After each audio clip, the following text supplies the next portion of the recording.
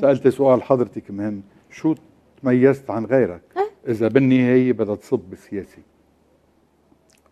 تميزت بشغلي. ما كبيت شعارات كتير كبيرة مثل ما عم نشوفها كل يوم.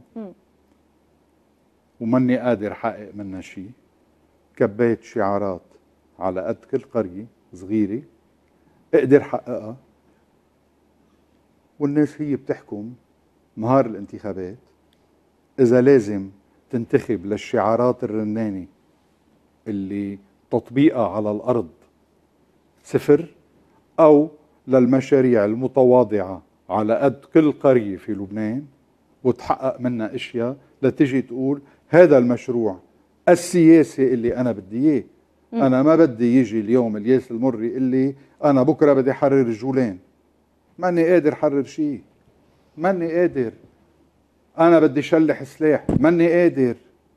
أنا بدي أعمل ماني قادر. حيش بقى نخوف الناس نعيشهم بجو شحن طائفي ونعبي هالجيل اللي عم بيطلع جديد بشعارات رنانة منا قادرين بس ضليتك بالنهج القديم دولة الرئيس ضلينا بالنهج القديم. يعني أنا مثلا كبنت المتن كنت بتوقع إنك تقلي بدي أخلق فرص عمل. بين هلالين. للشباب آه بدي أعمل. مصنع يمكن أو بدي أفتح مؤسسة طويلة يقدروا يشتغلوا. مش يضلوا بحاجة لإلي لهن يتطببوا أو لهن يحصلوا على الكهرباء أو لهن يحصلوا على المي أو لهن آه يتعلموا أو لتندفع قسطاتهم بالمدارس أو ما إلى ذلك. وصل لك. بس بدي نقطة تفضل. أنا بنت المتن. صح. حضرتك من بسكنتا صح. جارة بتغرين يعني نحن مصاهرينكم بس بحب أقول للمشاهدين إنه أكيد آه، بعرفك آه، ست سمر من خلال الشاشة والاعلام بس أول مرة بتعرف عليك على صحيح. البلاتو. كان أول لقاء. كما يعتبروا المواطنين اللي عم بيحضرونا إنه آه، لانك بنت المتن في هذا الشيء. لا أنا ما بعرفك هلأ عم بتشرف بمعرفتك. آه رح أقول لك تعيدي السؤال إذا بتريدي لأنه طويل شوي. إيه السؤال هو إنه أنا كنت متوقعة إنك تخلق ما ترجع النهج القديم يلي هو لا لازم إذا بدنا نتحكم نوقف على باب الزعيم وإذا بدنا آه، نتعلم بالمدارس بدنا نوقف على باب الزعيم وإذا بدنا نتوظف وإذا بدنا كل هول نوقف على باب الزعيم.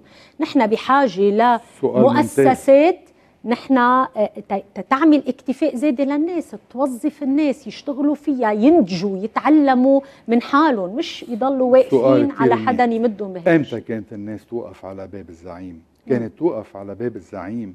لمكان الزعيم يستعمل مؤسسات الدولة ليخدم الناس؟ لا نحن عم نجي نقول كل قرية شو حاجتها؟ بدنا نجرب نأمن لي من خلال طلباتهم. وبعدين هن مفروض يستمروا ويكملوا. يعني ما بيعود لهم شغل معي اللي بأمن لهم حاجتهم تيعملوا auto-suffisance يعني يدبروا حالهم ويديروا الأشياء اللي نحن قدرنا نساعدهم ونأمن لهم إياها. أما اللي حضرتك قلتيه ومعك حق فيه الطرح الأول يوقفوا على باب الزعيم إيه إنه ألقط أنا أحكي مع وزارة الصحة حكموا فلان على حساب وزارة الصحة.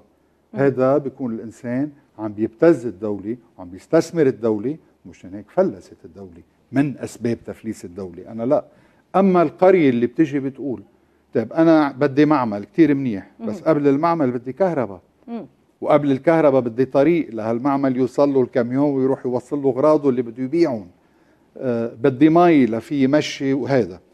أه بدك تأمني اللي اليوم ما عاد موجود اللي هو ما تواخذيني يعني بدول الموز ما بقى في دولة ما عندها مي وما عندها كهرباء وما عندها. بدك تأمني الحد الأدنى. إذا بكرة إجت قرية قال نحن بحاجة لمعمل لهذا الموضوع هذا أهين شيء. هذا الأهين. صحيح. لأنه هذا بده. طيب برضه هيدا نعم. فيه منافسة قوية لأنه كل الأحزاب وكل الأفرقاء السياسيين بيشتغلوا بهيدي الطريقة. كثير. وين اني حضرتك عم تقولي بنت المتن م. وأنا كمان. وبس كنت وبتغرين هن كأنهم ضيعه وحدة. صحيح. إيه. يفرجونا وين اللي أنا عم بحكي فيهم. هالأشياء البدائية. ويني؟